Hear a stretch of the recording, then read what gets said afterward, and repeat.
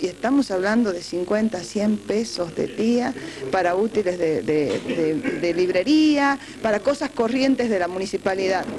Eh, también sé que hubo algún problema con las boletas de, la única estación de servicio que ustedes tienen. Ahora, acá también hay que plantear algo, ¿no? Ellos decían que por qué no se iban a Jujuy, a San Salvador a comprar las cosas, por qué no iban a Perico a comprar las cosas. Y yo sigo insistiendo, ¿no? Que si algo tiene que comprar el municipio, lo tiene que hacer acá en el Carmen para que la plata quede en el Carmen y circule en el Carmen, porque comprar en un negocio del Carmen significa que ese negocio va a dar puestos de trabajo y se va a gastar acá la plata. Entonces estas son cosas que hay que ver, yo creo que ha sido un avasallamiento y en eso también han entendido los diputados provinciales este, y avanzar en esto, en lo que significa el acompañamiento a la institucionalidad. ¿Se va a hacer una presentación en el Superior Tribunal? Sí, nosotros hemos firmado una presentación con lo que sucedió acá en el Carmen. Es gravísimo también lo sucedido en el domicilio de la conductora. Gravísimo.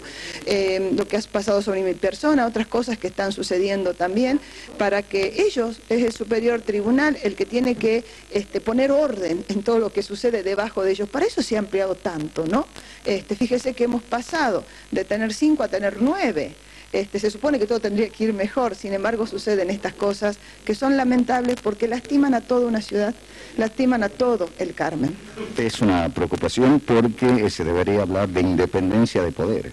Por empezar, independencia de poderes. Cuando el fiscal acá dice que si yo me pongo pesado, dice a viva voz, delante de, gente de la municipalidad y gente que no es de la municipalidad que estaba en este pasillo. Usted sabe que las puertas estaban abiertas. Entraba y salía a cualquiera como lo hice yo, yo entré y salí sin ningún problema del Carmen, del municipio. Él cuando dice de que si yo me pongo pesada, le avisen porque va a hablar al gobernador Morales. Eso es gravísimo. Involucrar al gobernador Morales en un tema que es judicial es gravísimo. ¿Qué tiene que ver el gobernador Morales en lo que estaba sucediendo? Si él tenía algún problema conmigo, en todo caso voy a hablar al superior tribunal, voy a hablar a mi jefe que es el fiscal Lelo, ¿no es cierto? Pero no al gobernador Morales. Bueno, todas estas cosas va a tener que explicar en lo que a mí se refiere el fiscal. Pero también son presentaciones que vamos a hacer, por supuesto lo de la contadora es gravísimo.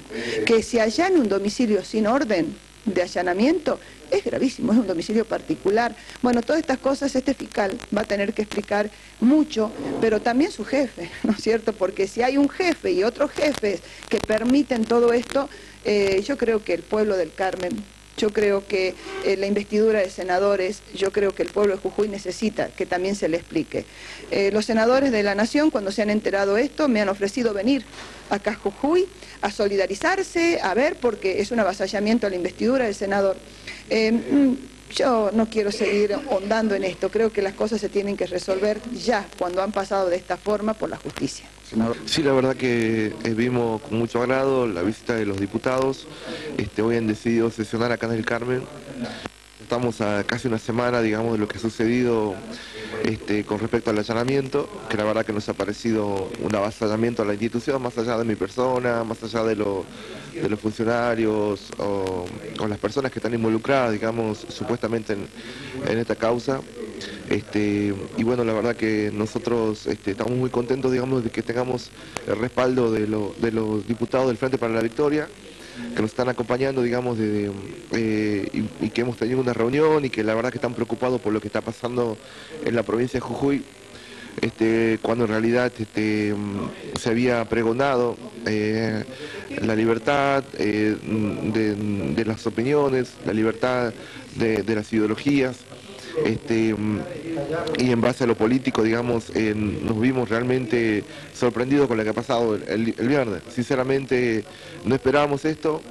Eh, lo que se ha hecho eh, se podría haber eh, resumido simplemente en un pedido por parte del fiscal el juez en, un oficio porque además la documentación ya la tenían ellos en mano, entonces la verdad que, nos llama poderosamente la atención y nos preocupa eh, ciertamente, digamos, no solamente por nosotros, sino por toda la comunidad. ¿no? Eh, mucho enojo de parte de, los diputados que lo están visitando. Sí, la verdad que los diputados están muy molestos por esto, porque mm, eh, creo, habían tenido una reunión con, también con el gobernador Morales y este, donde habían marcado las pautas, digamos, de convivencia dentro de lo que es oficialismo y oposición. Y esto eh, sinceramente excede, digamos, eh, lo que realmente se había pensado desde un principio, este, eh, la persecución ideológica que sufren los intendentes y los que piensan distinto a este gobierno realmente este, deja mucho que desear y realmente, como dije hace rato, nos preocupa, ¿no? Seguramente es un aliciente para usted este apoyo firme de todos los diputados. Sí, para nosotros, y yo soy un político, digamos, que vengo hace muchos años y por ahí lo que a, mis funcionarios creo que les viene bien un respaldo, sentir que estamos no estamos solos, que nos acompaña a nivel nacional la senadora Fellner, que nos acompaña el diputado Tentor, que estuvo en reunión la semana pasada con nosotros, y que son 14 diputados los que están acompañándonos y que este, han venido eh, a sesionar,